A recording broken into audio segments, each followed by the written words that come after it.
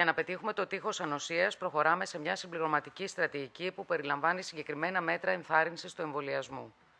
Περνώντας τα σημερινά μέτρα, εκείνο το οποίο στην πραγματικότητα εισηγούμεθα είναι η καθιέρωση μιας διαβαθμισμένης κάλυψης σε χώρους μη ουσιαουδών υπηρεσιών ψυχαγωγικού χαρακτήρα. Αυτό σημαίνει στην πραγματικότητα ότι θα έχουμε κλειστούς χώρους, όπως είναι για παράδειγμα τα εστιατόρια, οι κινηματογράφοι, τα θέατρα, αλλά και ανοιχτούς χώρους όπου υπάρχει υψηλός συγχρονισμός, όπως είναι τα γήπεδα και τα μεγάλα κέντρα διασκέδασης, όπου πλέον θα υπάρχει διαβάθμιση. Δηλαδή, τα, οι χώροι αυτοί θα μπορούν να είναι είτε αμυγείς εμβολιασμένων, είτε μεικτοί χώροι.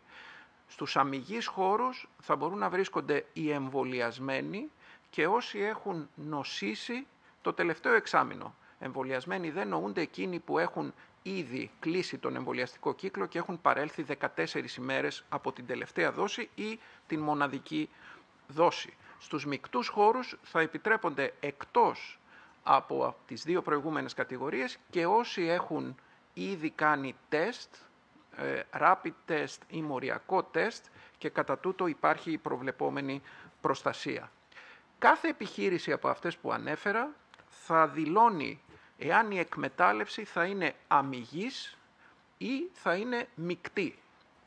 Η διαβάθμιση η οποία θα υφίσταται είναι για μεν τους αμυγείς χώρους από 75 έως 85% της συνολικής χωρητικότητας, για δε τους μικτούς χώρους από το 25 έως το 75% της πληρότητας. Όλοι οι χώροι οι οποίοι θα ε, ανοίξουν, οι μεγάλοι χώροι, οι κλειστοί χώροι και οι μεγάλοι χώροι συνάθρησης όπως είναι τα γήπεδα, θα ανοίξουν από τις 15 Ιουλίου ειδικώς οι κλειστοί κινηματογράφοι και τα κλειστά θέατρα θα ανοίξουν από την 1η Ιουλίου.